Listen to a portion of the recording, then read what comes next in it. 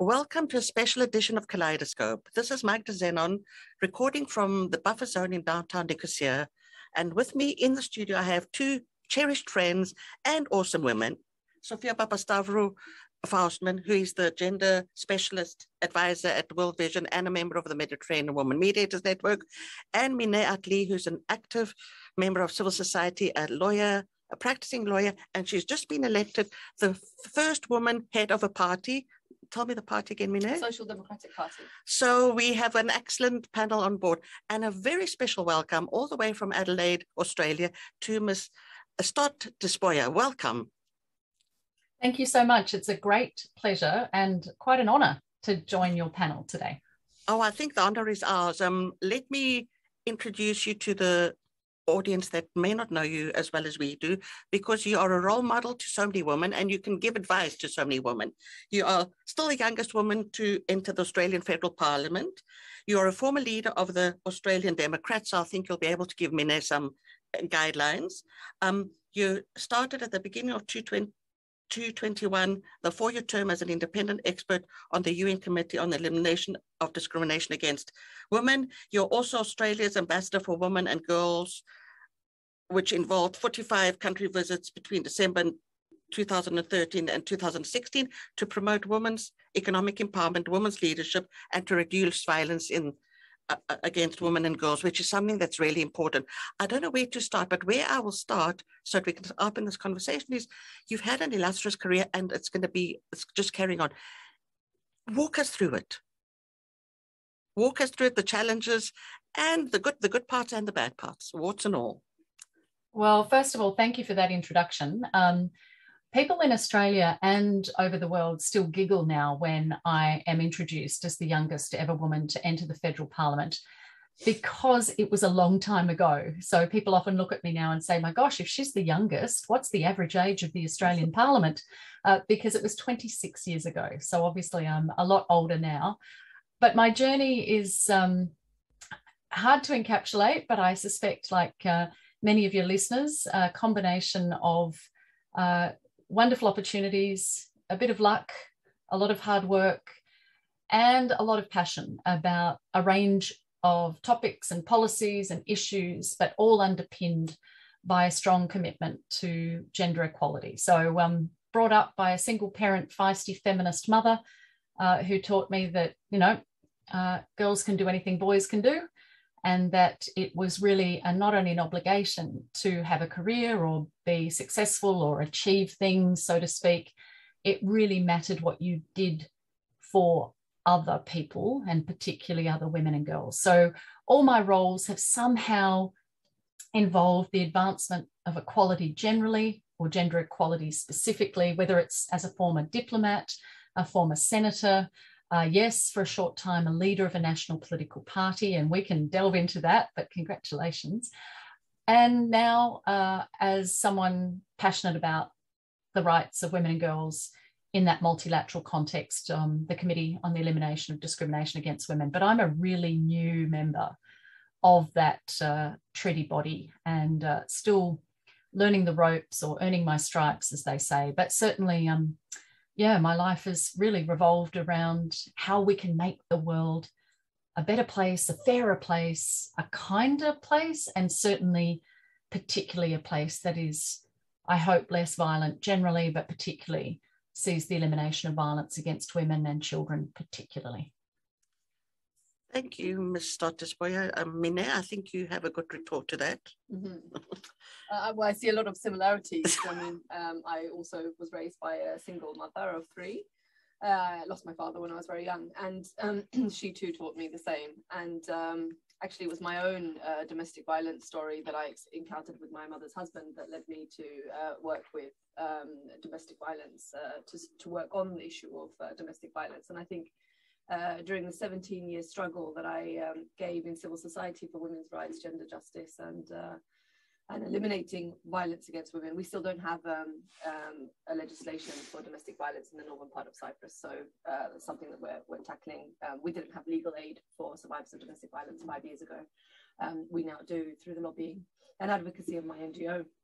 But I think that uh, the experience that I've gained through that those 17 years and looking at the root cause of domestic violence, which is power and control, is probably the most uh, valuable um, asset that I have now. Um, um, struggling in a political struggle for gender equality, uh, for, for equality in um, in mm-hmm. general, uh, because it's all it's all really about power and control, and it's always about um, um, uh, struggling for an equal power balance. Um, so, I mean, I've got plenty of questions that I want to ask, but I won't. I won't. Uh, I'll stop there. No, but ask her. This is what we have Dr. Despoja here. Ask her the questions. Let's have a conversation so that we can all learn. I'd like to know, um, in particular, how, how, I mean, because you had a background in uh, domestic violence and, and gender justice, um, what what tends to happen? I mean, what happens in Cyprus? What happens in Cyprus because it's such a small community as well, I guess. But I was wondering if it happens on a larger scale. Is that people associate you directly with gender issues, and um, uh, somehow you're marginalized and and set out of the arena of talking about the quote real issues. Um, how were you able to break that?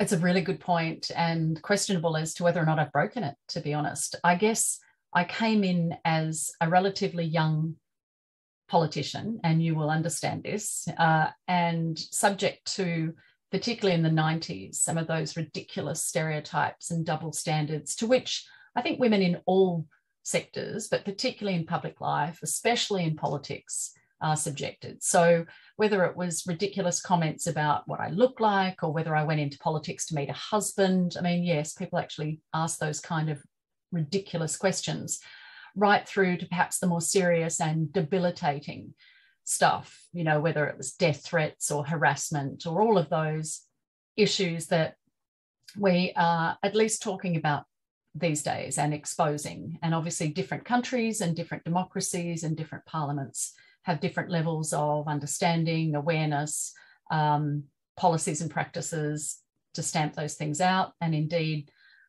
I think all of us are still trying to grapple with the culture that that still exists. That's very much in favour of a, you know, a patriarchal or a male-dominated, um, you know, society. I think being taken seriously on a broad range of issues for me was always a challenge because I was a novelty, mm-hmm. young mm-hmm. female. Yeah. So, what did I know about the world? What did I know about the issues, even those about which I was passionate education or science or climate change? You know, these issues were very hard to be taken seriously on, uh, especially those issues considered the domain of older people and men in particular. You know, lots of white men in yes. suits in our time. Grey suits, yep. over 60. well, There's no and, difference you know, here. Uh, well, and it's, I mean, this is it across the world. I mean, Australia, for all our extraordinarily, arguably paradoxical world leading work. I mean, I belong to the state of South Australia, the first place in the world mm-hmm. to grant women not only the right to vote, but the right yep. to stand for parliament. And we've never had a female premier.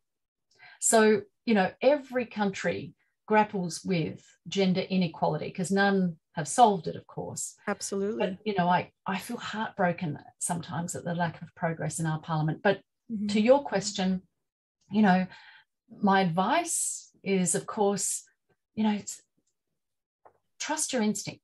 You know what you're passionate about and what you're good at. And women spend so much time proving, you know, we have to prove doubly, especially in politics, that we know our stuff. And we're judged on seemingly superficial and ridiculous bases compared to men. You know, they don't have to think about, you know, being ridiculed on the basis of what they wear or, you know, judged for their suitability for politics on the basis of their marital status or how many kids they've got, you know. So we're overcoming these issues so often.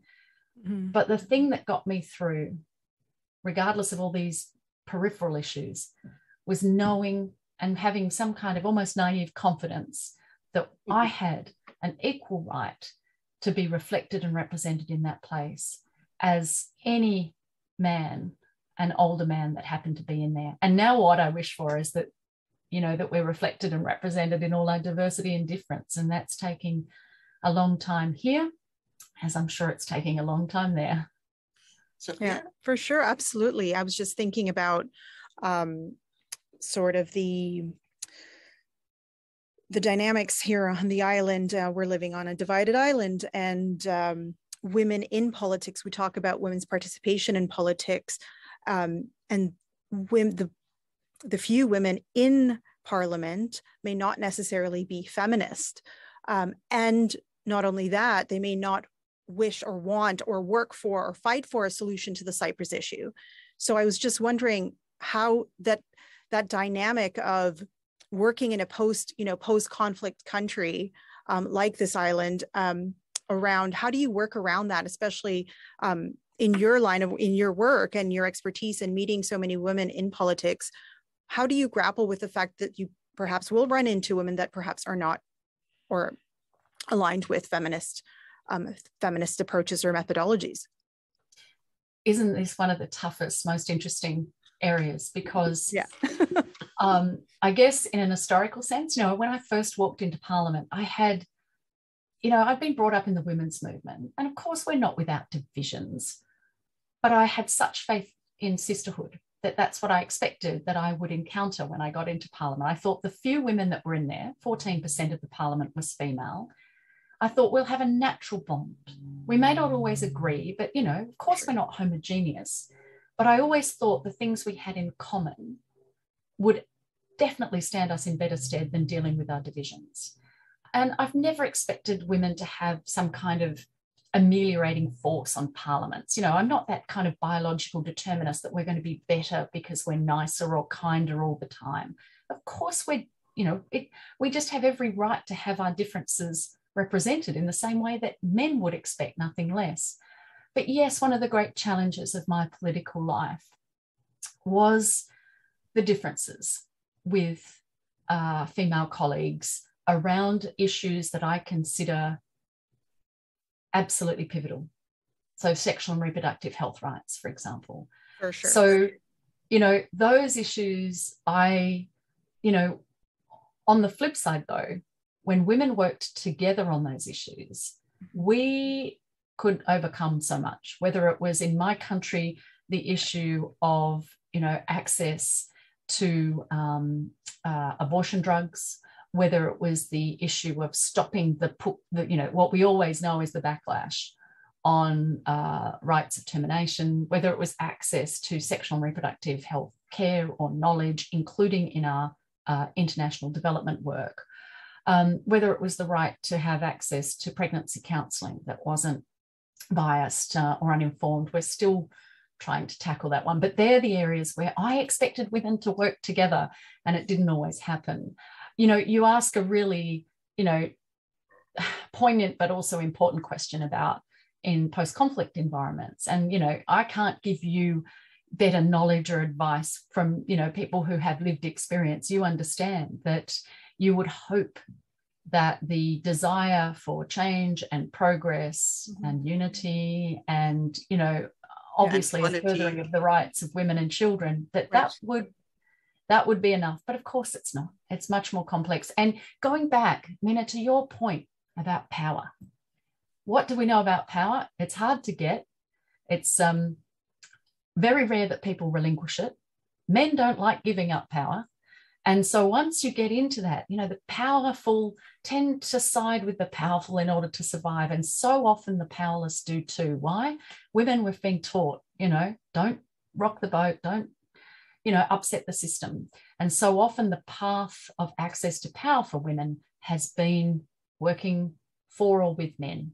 Mm-hmm. And so for us to develop our own unique networks, especially in politics, is really, really hard. And I hated it when women were pitted against each other mm. or played off against each other, partly because there are so few of us in that context or in that place at any given time. But yes, mm-hmm. my great desire is to see women support each other, whether that's in any profession or any environment.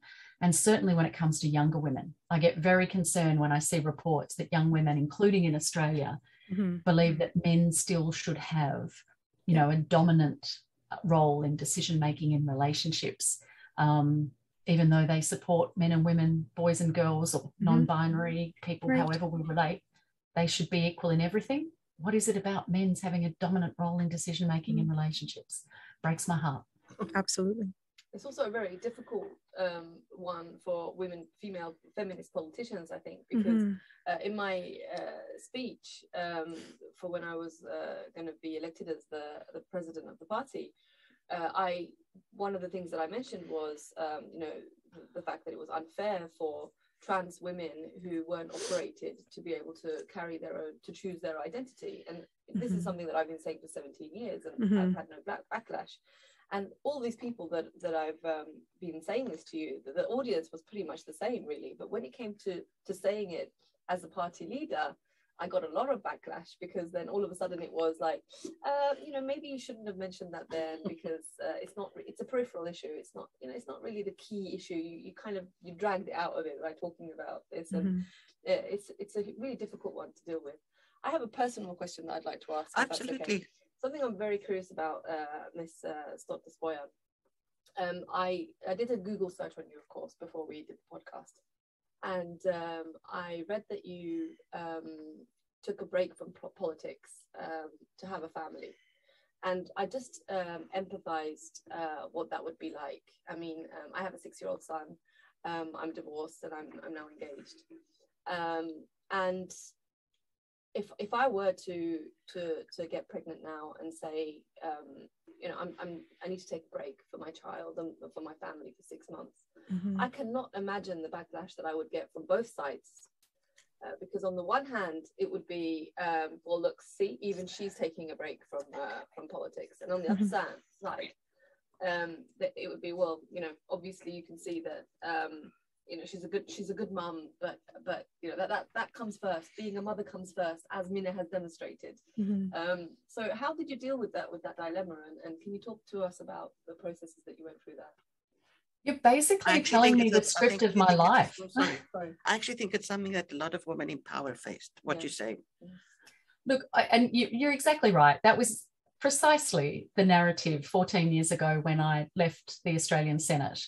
Um, you know, I, I just often describe it as a bit of an empowering decision in the sense that, you know, when you're a third party senator or, you know, someone from a minor party and you've done 13 years in the parliament, um, you know, it's sort of, I'm not sure what the equivalent is in dog years, but, you know, it's sort of like compared to my, you know, the party colleagues from the major parties who didn't quite have the same workloads and didn't have quite the same pressures.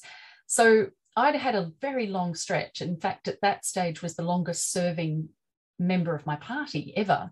Uh, Wow. So I wanted the opportunity to spend time with my, you know, growing or relatively young family. And I didn't want to be, you know, particularly doing the travel, not so much the workload, it was the travel. At that stage, Parliament House in Canberra didn't have childcare facilities. And I often, Right. you know, say to people that the first time I visited the childcare centre after I left uh, the federal parliament, I did have a bit of a cry because sure. I, it, it could have changed my life. But more importantly, I thought of the women around my time or beforehand who might have had different political careers. So mine was a little career interrupted, but it was also me sending a message about choice. And I was a privileged woman with power who made a choice. However, you're right, the interpretations were exactly as bipolar as you describe.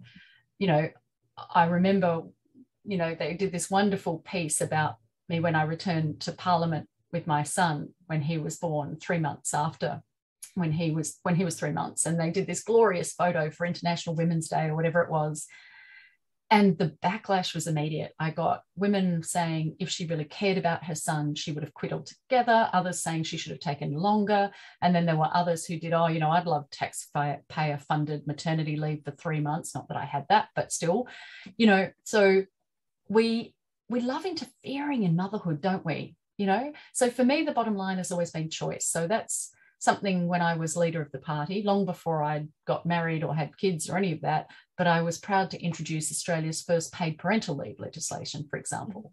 Um, you know, during my time in the Senate, again, before my kids were even a twinkle in, you know, my eye, um, I introduced changes to the Senate standing orders so that women could breastfeed because we'd had a situation where a woman had been thrown out of the parliament because she'd been tenderly breastfeeding her child because she had to be in the parliamentary chamber.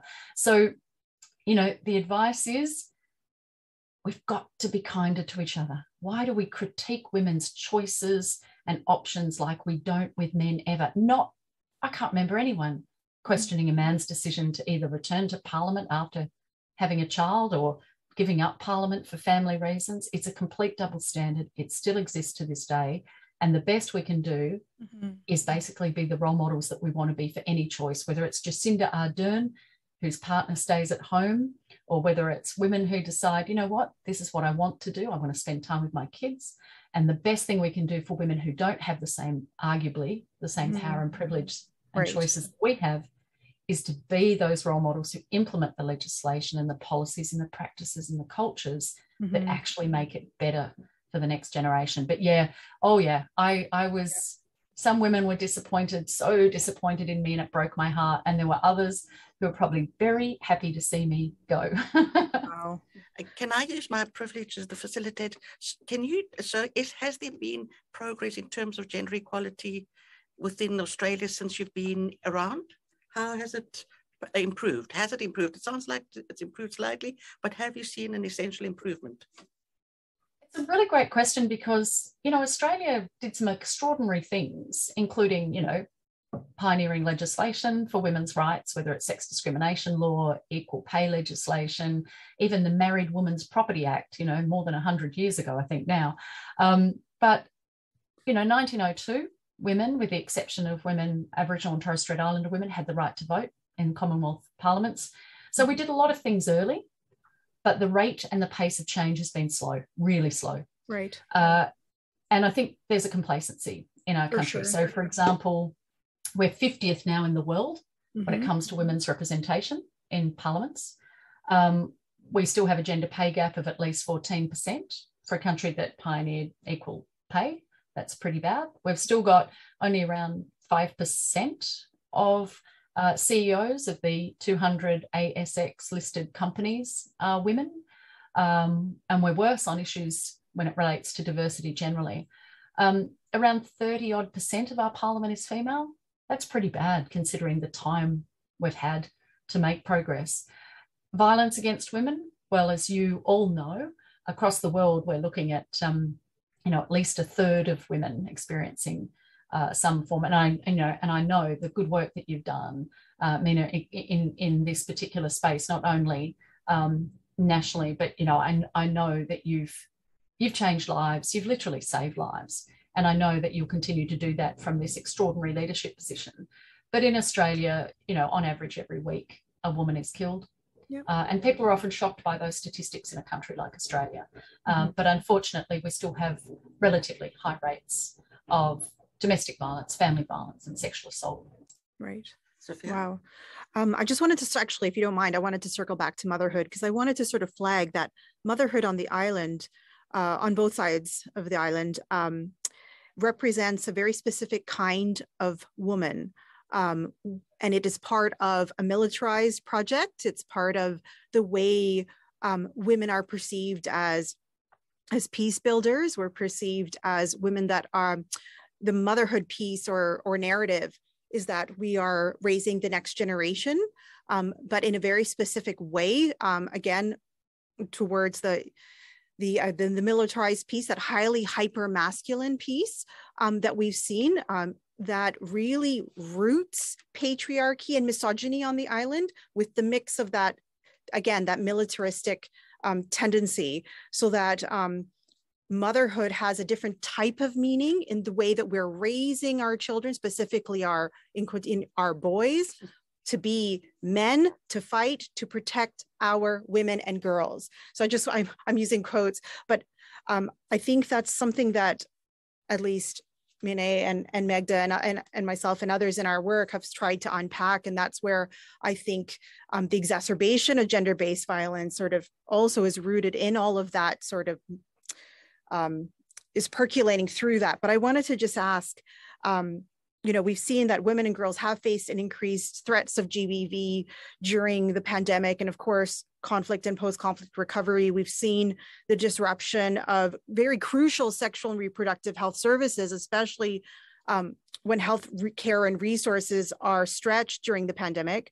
Um, and we know, of course, that violence against women occurs during peacetime and in times of crisis and conflict, and it's preventable. So, what do we need to do? And I quote you to create a new normal. Well, you know, the three of you with your work, expert work in human rights, and Mina, your you know particular extraordinary commitment to you know, supporting survivors and the issue of prevention, you all know that while we can say there's no single, you know, factor oh, that explains gendered violence. Have I frozen? No, no, oh, I was going to say that um, while we know there's no single factor that explains violence against women and children, the evidence base is now pretty clear, isn't it? And we know that there are drivers um, that result in increased levels of this violence, including, you know, limits on women's freedom and rigid gender stereotypes, which goes to your point, yep. of course, about, you know, the designated or perceived roles of women, uh, particularly in relation to motherhood and yes, raising the next generation. And but don't you always find that in conflict situations, you know, we grapple with the increased expectations on women to um, you know, there are times when women have additional roles, almost masculine roles, whether it's sure. in a military sense or whether it's keeping the home fires burning or whether it's creating, you know, keeping the economy going.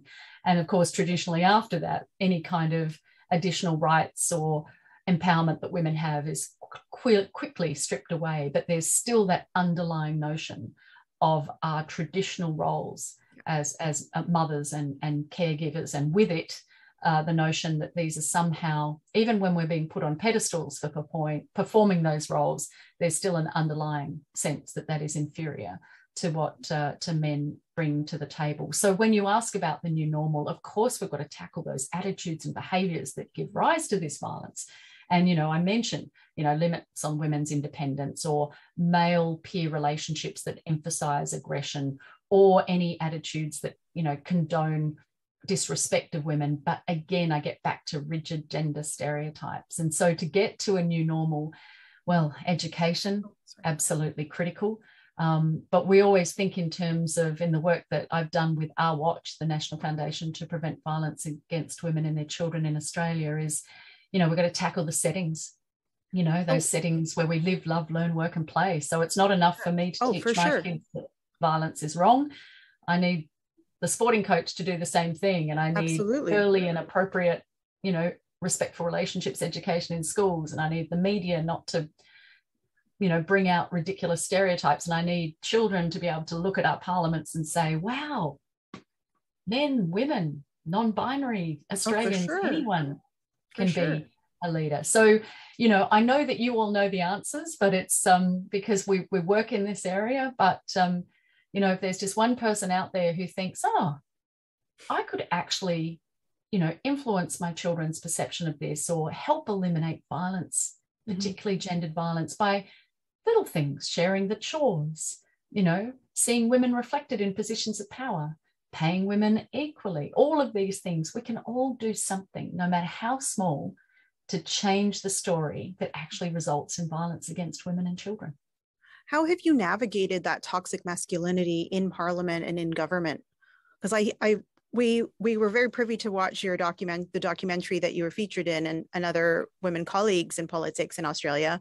And I'm just wondering, I mean, some of those uh, scenes were really I mean, the toxicity, the masculine, toxic, toxic, excuse me, masculinity was so incredibly intense. How did you navigate that?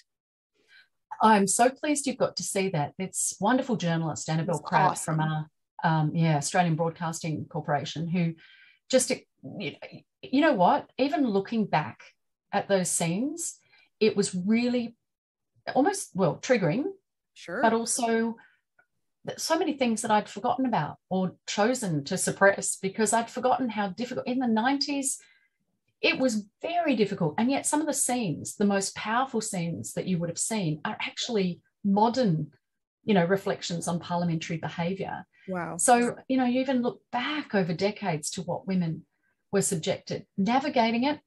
Well, you know, there are different ways that we navigate things, aren't there? I mean, there are times when you can't call out bad behaviour because it's made worse for you.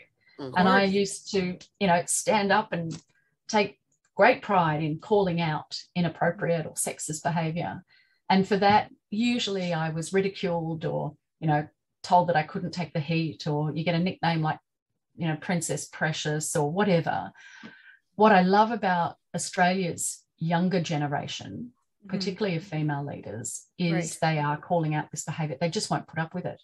Um, so sometimes, yep, you go with the flow. Sometimes you call it out. Sometimes you get absolutely destroyed in the process.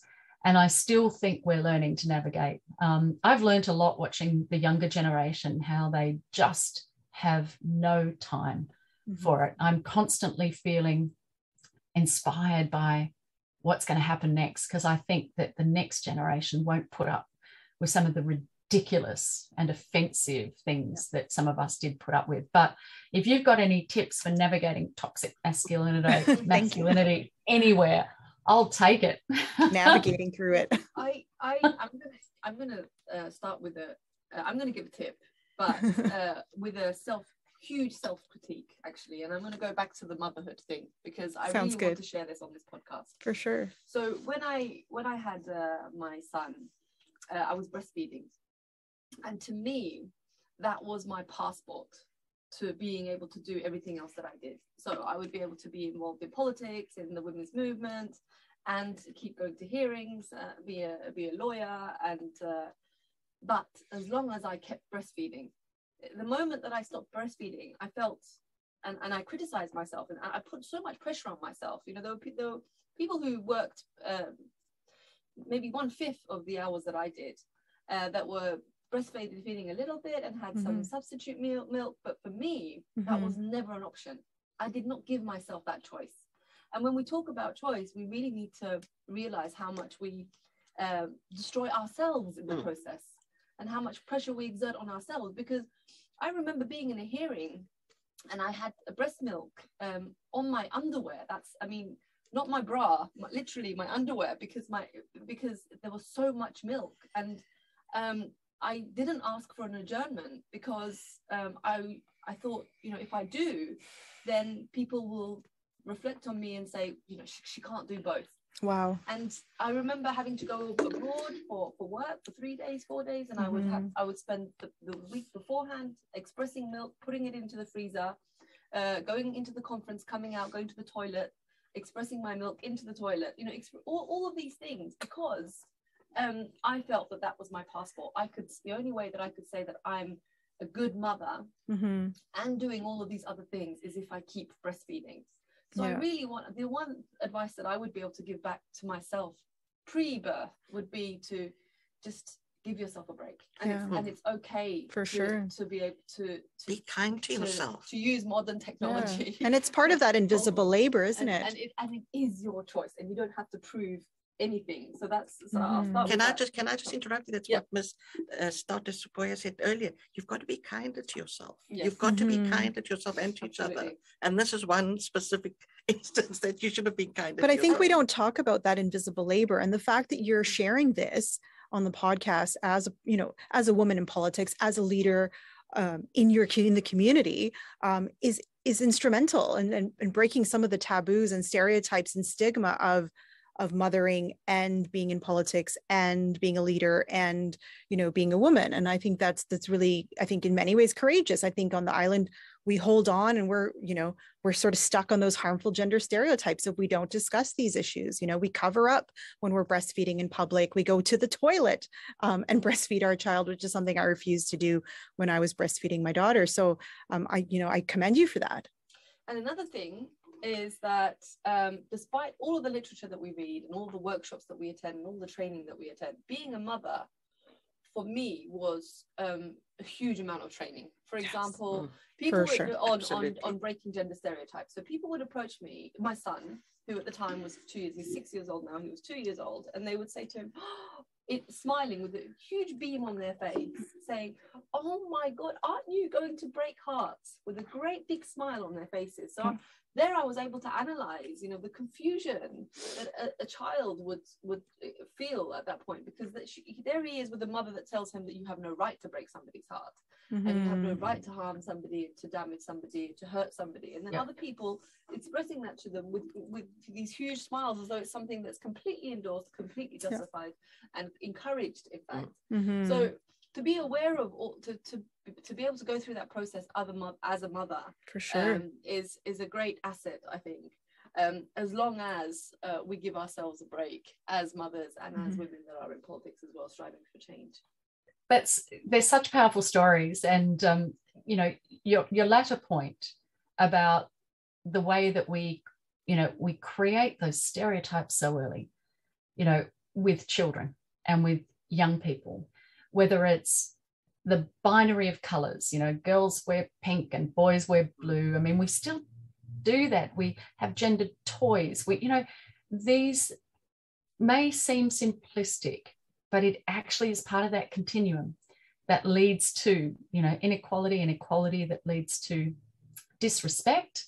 And disrespect doesn't always result in violence but it's certainly the precursor and when you talk about i mean i the breastfeeding stories you know you've made me think. I remember similarly I, I did my first trip um, senate committee trip with my son still breastfeeding. And i remember having to sit in a taxi outside the committee venue because that was the only way that I could, uh, you know, perform my motherly duties, so to speak, um, without interrupting the committee. And I remember too when they heard that I was bringing my son, because I said, I'm not going to leave him at home, I'm breastfeeding. Mhm. Um, and the clerk of the parliament rang my office and asked my staff for a copy of my breastfeeding schedule. And I just thought, it doesn't happen that way. It really doesn't. But it showed, you know, it's comical now almost. But at the time, I realized that just the idea, there was no understanding, the lack of comprehension of the role of women in politics, diversity in politics, uh, let alone um, you know women who were were mothers. So you know those stories. Oh, I feel you, sister. I really do. Um, it was no, they were tough times, and you know what?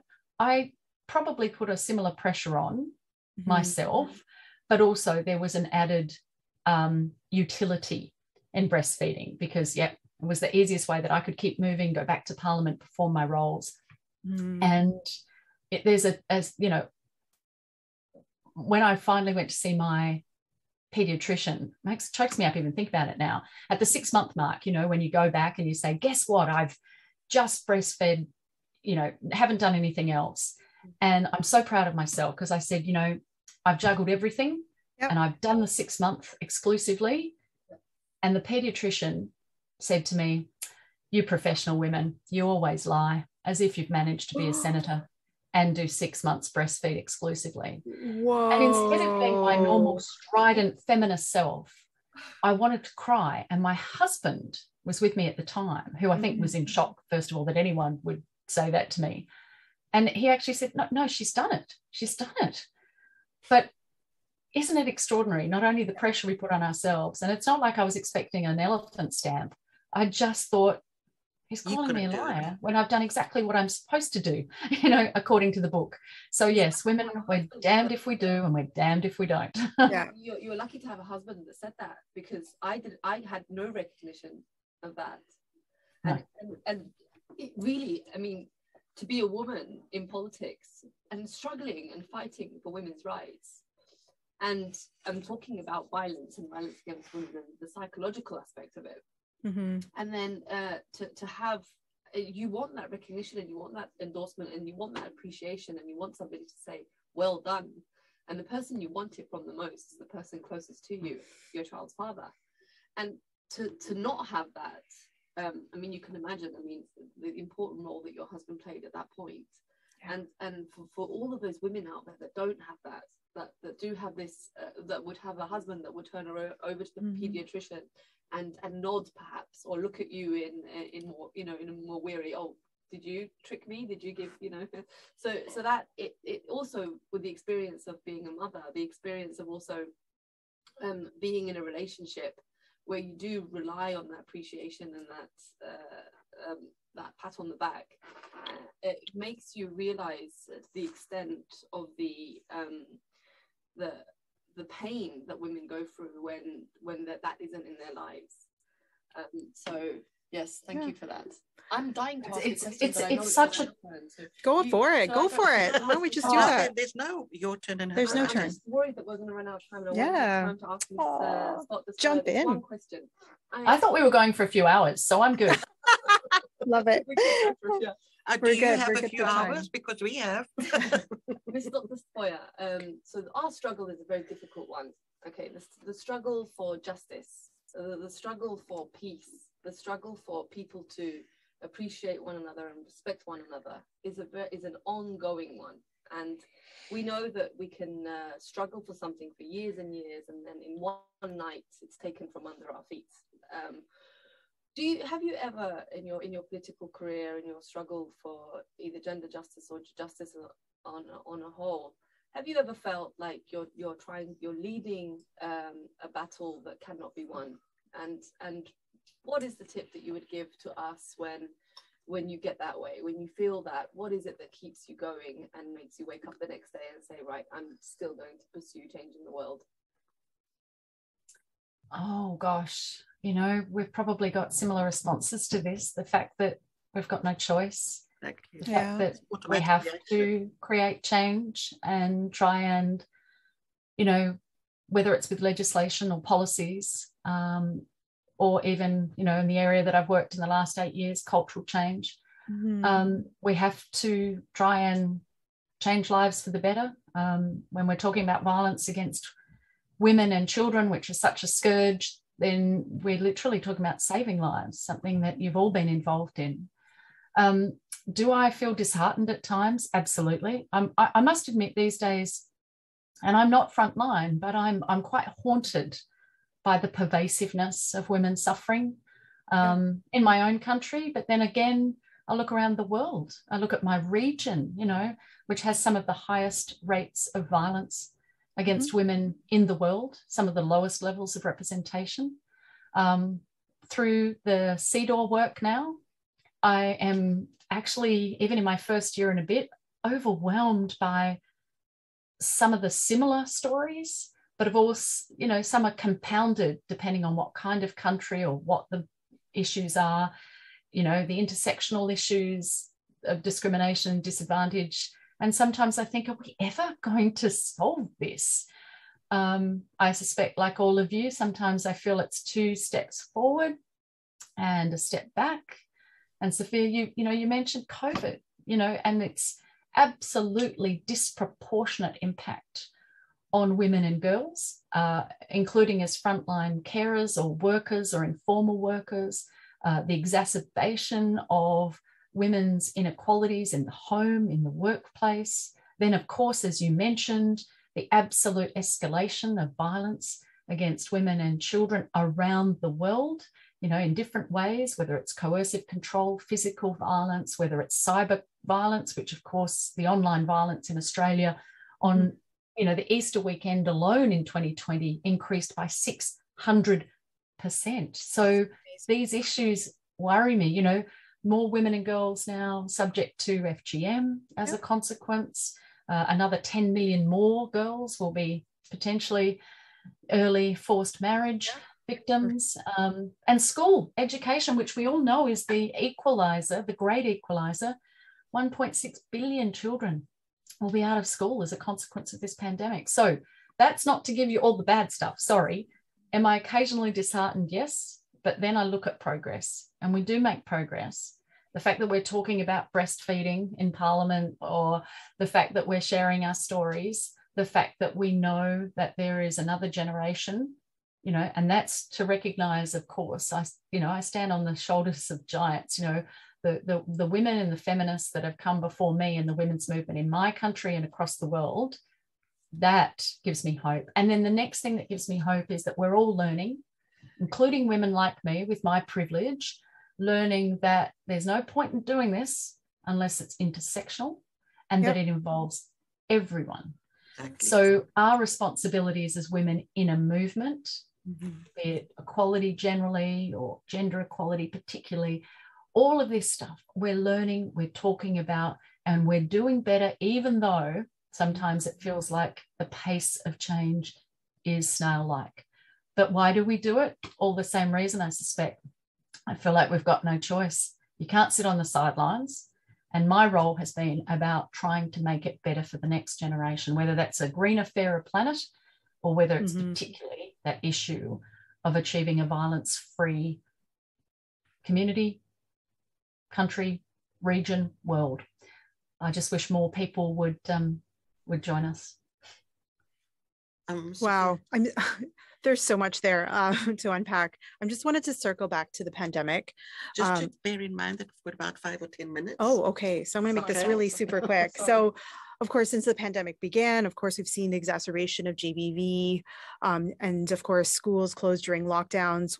Um, this has, of course, increased the share of unpaid care work and labor, despite the fact that we've seen men, um, though not predominantly primary caregivers, sharing some of the workload. And in Cyprus, um, my work with the World Bank, we found that um, keeping women in the labor force and ensuring that they stay employed was actually a challenge, particularly women living in rural areas. And I was wondering, in your experience, how do you suggest supporting that?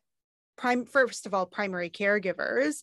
How do we start unpacking and addressing unpaid care work and invisible labor and the mental load?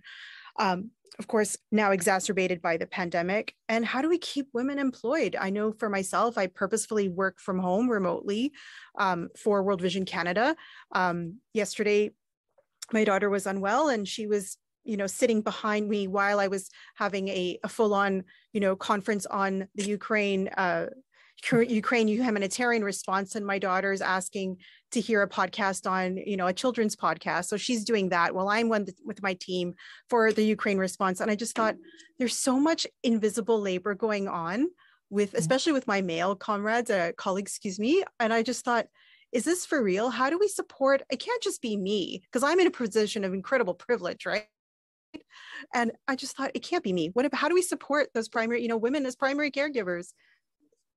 Oh, look, these are such good questions. And, you know, your World Bank work, you would know some of the answers, but we also know that it's not just about the policies, the practices, even the resources. It's about goodwill and political will. Mm-hmm. And that is so often missing. You know, I would think in a country like Australia, a developed nation, relatively fortunate, has been very fortunate relatively through the pandemic. Yeah, it's not to make light of, you know, fatalities and the, the differences that it's made to people's lives, particularly women. But, you know, why are we not using this opportunity to reimagine our society, to suddenly go, you know what? Who were the frontline workers in this pandemic? Oh my gosh, who are the people that we needed the most? We needed the mm. cleaners, the educators, the informal workers. Women were the majority of our healthcare workers. But not only that, of course, as you refer, most women were dealing with the low skilled, arguably low paid yeah. work, including, yes, juggling online learning and we became teachers as well as doing all the other things that we did. So, childcare workers, I mean, why wouldn't governments turn around and say, you know what, we got this wrong? Why don't we start rewarding those feminized industries? Why don't we start giving incentives for women to not only enter but be maintained in the workplace? Why don't we do something about the casualization of jobs, something that impacts women in particular, and of course has consequences right through in terms of education, income, you know, employment opportunities in the future, their superannuation, they retire with less, etc. So I, when you ask for the answers, it's not like we don't know them. We we so do true. know the answers. So but true. again, it gets back to power, doesn't it? So we know, and we all know the stats and the research that show more women in positions of leadership ultimately lead to, you know, better distribution of resources, better maintenance of public infrastructure, uh, indeed, you know, the likelihood that a country will use military intervention to resolve international disputes is affected by the number of women in a parliament.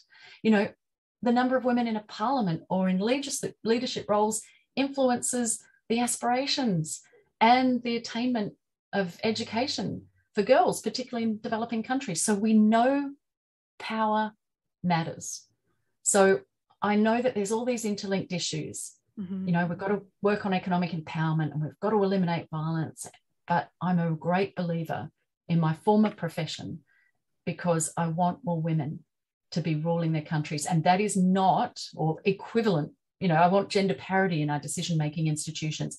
And that's not because I don't understand change can happen elsewhere, because I loved being an activist and I love working through other channels. But I desperately want to see more women, more diverse women in our parliamentary institutions running countries. I really feel powerful about that. I really feel strongly about it. Mine, you scribbling away there? Yes. Miss uh, Stockdale Boy just wrote my next speech for me. no. I feel very old every time you refer to me as Miss Stott-Despoja. I feel like, you know, but it's Natasha. Most people can't pronounce Stott-Despoja um, in, uh, in my neck of the woods. So they're always like, oh, it's Natasha, so much easier. Can I interrupt? Uh, is there perhaps anything you want to ask our uh, Sophia and Mine? Do you want, should we turn the tables for five minutes? Is there anything? Absolutely. I want to know, Mine, how you are finding your role. I mean, you are a, a, a role model. I mean, it's a, a heroic and challenging and terrifying position to be in, but it's it's extraordinary, isn't it? And you know, what are your plans? What are your challenges?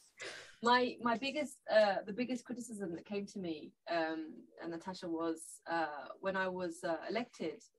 I gave an interview to the public broadcasting agency, and I said if my party hadn't, because my party for the first time in 46 years um, uh, could not pass the threshold this election, and the president quit and that's when there was uh, an opening and I ran as a candidate. And when I gave the interview, I said, if my party had passed the threshold, our threshold is 5%. Mm-hmm. And I said, if my party had passed the threshold by 0.1%, so if we had got 5.01% of the votes, there is no way a woman would have been able to be the president of the party. Mm-hmm. And I got so much criticism for it, but it was so much the truth. And now I have to be weary of the fact that there's a lot of um, kind of uh, face value, kind of, we support you, that's great. Um, it's brilliant that women are involved in politics, but mm-hmm. then, then you can see in their eyes that they're wary. Uh, and I, I, I'm seeing tendencies in the party that I've never seen before. For example, people um, are telling me as a party leader to calm down. Don't be emotional. To, to calm down and, and to slow down. I mean, for years, the, the party leader has been criticized for, for, for not speaking up enough and, wow. and not being active enough and, and, not responding fast enough. And now all of a sudden, the party leader is being criticized. Yeah, she is. being told to calm down, to be slower, to be more rational. Is this by men and women? Yes, is, by men and by women. men and women. Um, Interesting. I, am I'm sick and tired of hearing this word rational you have to be rational and, be and you know it's um because i grew up in the party i was actually 17 years old when i first uh, took step into the party so i know uh, the party dynamics very well. I've been a member of the uh, committee, the, the mm-hmm. main um, executive, uh, the executive for, for, for, many years. So I know what the, the cultures are. And um, th- there has never been, for example, a culture of uh, getting everything um, voted by the central committee uh, by this executive, um, all of a sudden, though, there's this big need for it. Uh, they, they need to have the safety nets to make sure that this uh, this woman is not doesn't take to, over to lead the, the party into some kind of a revolution. For well. sure. But, but um, it's so it's very tough. It's it's obviously you know for all of the personal reasons. Um, I, I'm one thing I would say to to women that are involved in politics is be very wary of um, the pressures that we face um, through of through gender roles whilst we are trying to break them. And also be very wary of the men mm-hmm. who say things like you're there because i supported you or you know how much i supported you right? Wow. Yeah. Payback time. Yeah. It's surreal. It's oh i relate to that um on so so many levels. But uh, a fifth of australians believe that men make better politicians mm-hmm. because mm-hmm. they're less emotional and more rational and if you ever get a chance to look at the current state of the Australian Parliament, you will disagree with that vehemently, believe me. Having said that, I also want men to feel that they can be emotional. I want us all to be multifaceted and not, you know, constrained by these, you know, rigid, you know, gender stereotypes. But I'm curious from all of you, given your human rights work and understanding of equality and advocacy, is there any advice or any requests that you have of me as a CEDAW member Um, you know, I know particularly, you know, the work and Sophia, your work on, you know, women, peace and security, for example. I mean, how do you see some of our multilateral institutions mm-hmm. serving women and girls around the world, not only in the context of a pandemic, but in the context of conflict and post conflict environments? What could we be doing better?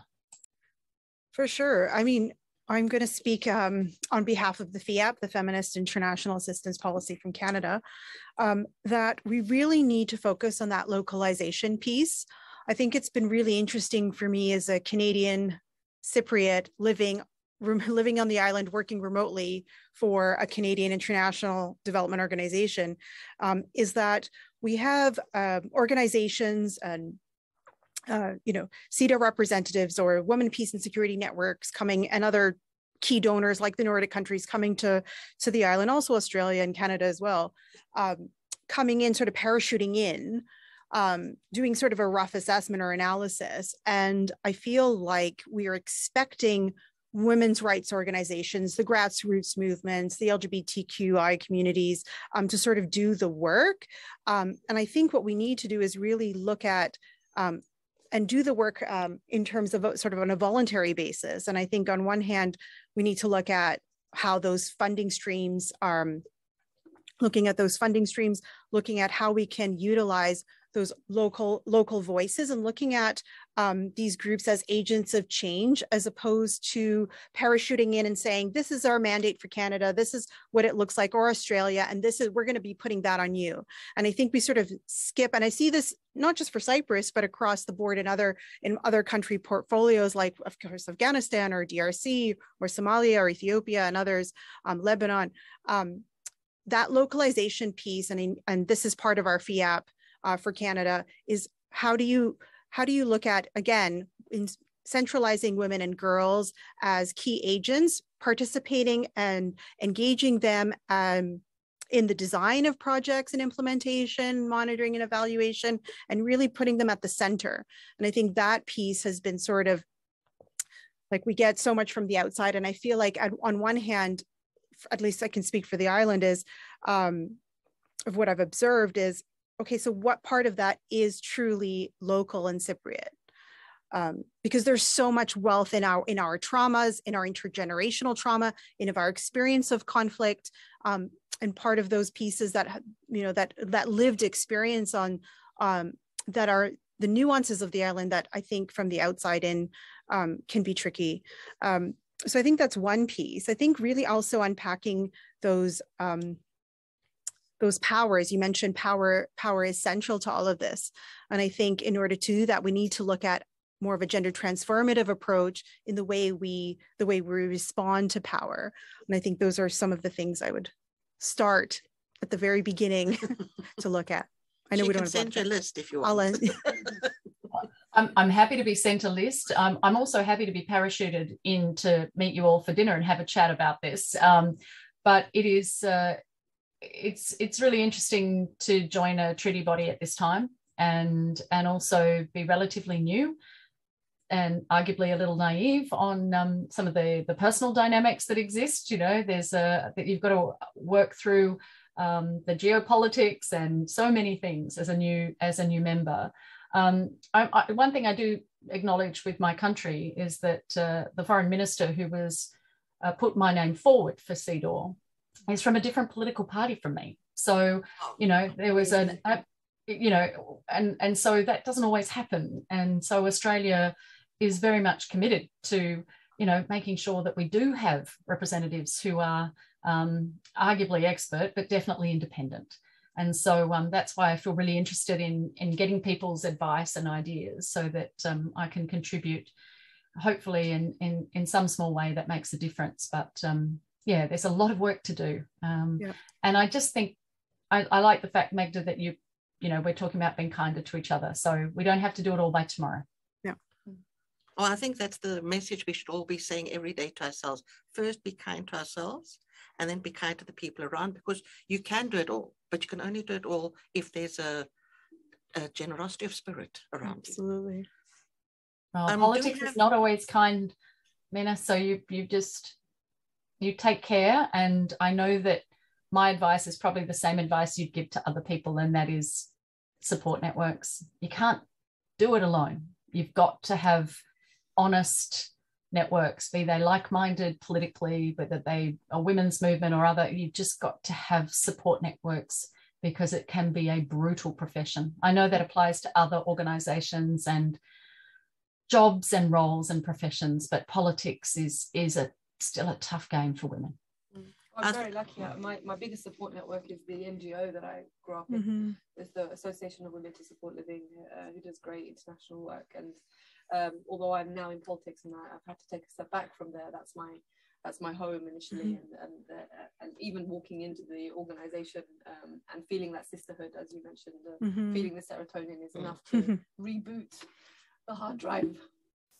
But I think we've all felt, and let me uh, take advantage of, I think we in the recent years, there've been a development of regional networks of women mediators, peace builders. Mm-hmm. And I think that has been, and I'm part of two or three, I think that has been such an empowering feeling because you know you're not alone.